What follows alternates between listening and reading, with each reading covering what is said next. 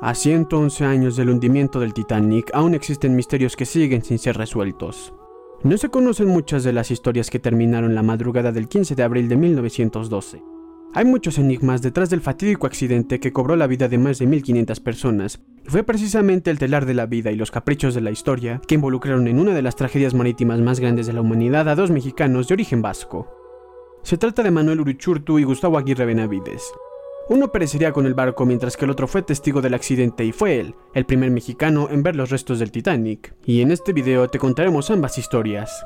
Antes de comenzar, no te olvides de suscribirte al canal si eres nuevo, y si ya eres un fiel suscriptor, deja tu like y comparte. Y ahora sí, vamos al video.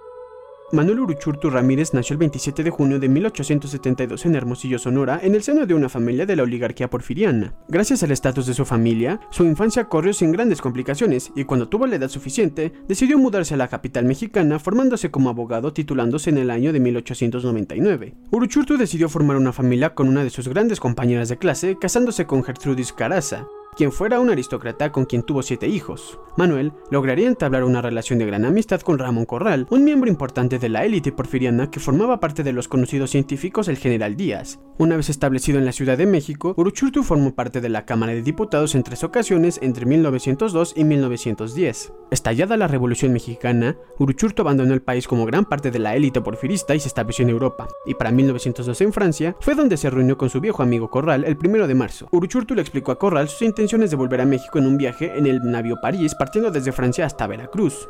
Para finales de marzo y principios de abril, Uruchurtu estaba hospedado en el Hotel París, en donde recibió la visita de Guillermo Obregón, cercano a Corral, quien tras una jubilosa charla logró convencer a Manuel de intercambiar su boleto por el de él, siendo este nada más ni nada menos que un boleto de primera clase para el Titanic en su viaje inaugural. El boleto de Uruchurtu para subir al Titanic era el número PC 1761. Uruchurtu, sin saber que dicha decisión cambiaría su vida, aceptó el intercambio.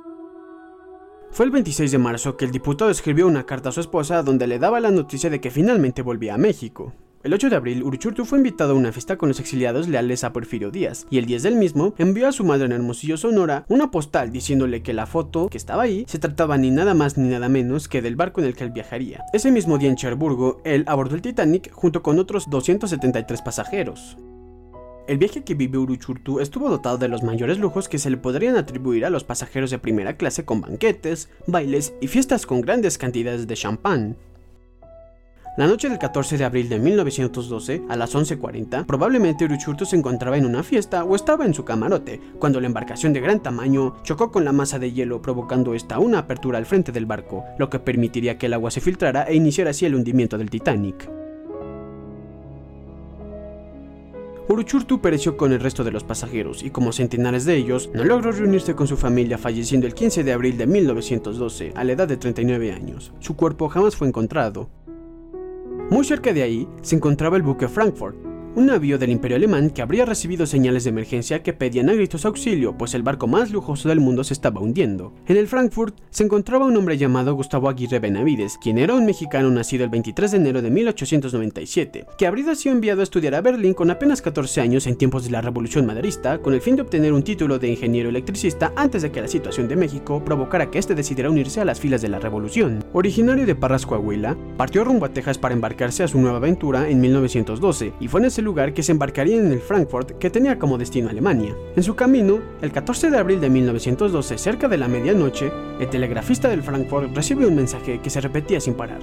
El Titanic lanzaba una señal de SOS rogando auxilio de cualquier nave que pudiera ayudarlo. El barco alemán estaba a unas 120 o 150 millas náuticas lejos del Titanic, y tras una serie de detalles que dificultaron establecer una comunicación clara con el barco, el Frankfurt partió a toda marcha en el auxilio del transatlántico, aunque este llegaría al lugar a las 11 de la mañana del 15 de abril. Tras horas de navegación, finalmente el Frankfurt arribó al naufragio en donde solo se encontraron los restos del Titanic, así como cientos de cadáveres que yacían flotando a la deriva congelados.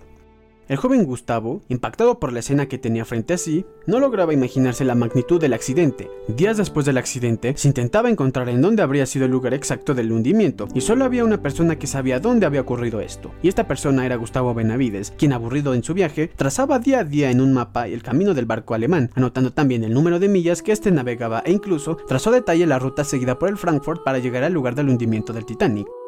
Gustavo siguió con esta disciplina hasta atracar en suelo europeo. Ya instalado en Berlín, escribe una carta a sus padres, pero no en una hoja de papel, sino al reverso de la carta de navegación que él mismo trazó. La carta que escribió iniciaba con lo siguiente. Muy queridos papacitos, esta es la carta del trayecto que hice desde Galveston el día 6 de abril de 1912 para Bremen. Llegué el 21 del mismo mes. Ahí dice quién es el capitán del barco. Las millas que se caminaban por día y el lugar donde dice Titanic es donde estuvimos buscando a los que sucumbieron en tan terrible catástrofe.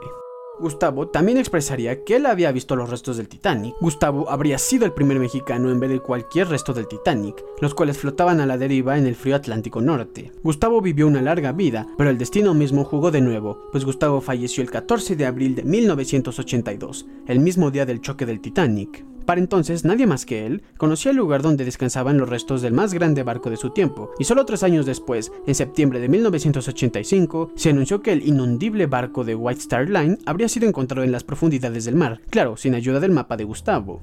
Después de conocer las historias de Manuel Uruchurtu y Gustavo Aguirre Benavides, dos mexicanos involucrados en el hundimiento del Titanic, nos damos cuenta de que la tragedia de este famoso barco no solo se llevó consigo la vida de más de 1500 personas, sino que también historias personales únicas y valiosas. A pesar de que han pasado 111 años desde el accidente, aún existen misterios sin resolver y muchas preguntas sin respuesta. El destino fue caprichoso con estos dos hombres, uno de los cuales falleció en el barco mientras que el otro se convirtió en el primer mexicano en ver los restos del Titanic y el único humano en conocer la ubicación exacta del barco antes de ser descubierto. Esta historia nos muestra lo frágil que es la vida y cómo el curso de la historia puede cambiar en un instante, dejando atrás enigmas y tristeza en su camino. Esta historia también nos enseña que, a pesar de los años que han pasado, la tristeza y el dolor del Titanic perduran, y que aunque la vida siga adelante, nunca debemos olvidar las vidas y las historias que se perdieron aquel fatídico día y que se fueron al fondo del mar junto con el Titanic.